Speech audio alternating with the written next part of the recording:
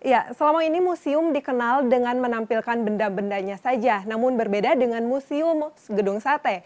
Museum Gedung Sate ini akan membawa Anda menampilkannya.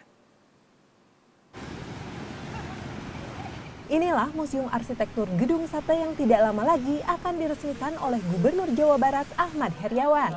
Berlokasi di basement Gedung Sate, museum ini menceritakan perjalanan panjang konstruksi Gedung Sate dari masa ke masa.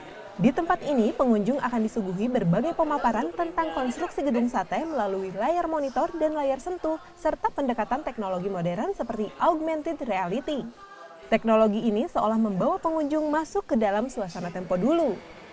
Sengaja ini menjadi bagian dari edukasi kita kepada bangsa Indonesia, kepada masyarakat Indonesia, bahwa gedung sate yang selama ini menjadi kebanggaan semua bisa dipelajari dengan secara menarik, dengan singkat melalui gedung, uh, Museum Gedung Sate. Museum Arsitektur Gedung Sate ini pun menghadirkan bioskop mini, virtual reality, dan perpustakaan. Rencananya, museum tersebut akan dibuka secara resmi oleh Gubernur Ahmad Heriawan Jumat 8 Desember.